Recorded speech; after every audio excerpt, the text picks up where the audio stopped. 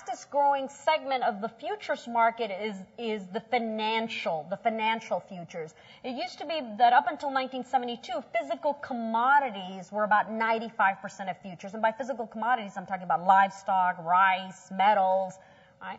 That is completely inverted so that now the physical commodities are only about a third of the total futures volume and the rest is dominated by equity futures, interest rate futures, foreign exchange futures.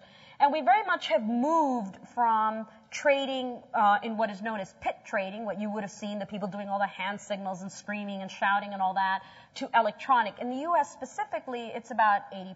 80% is electronic trading.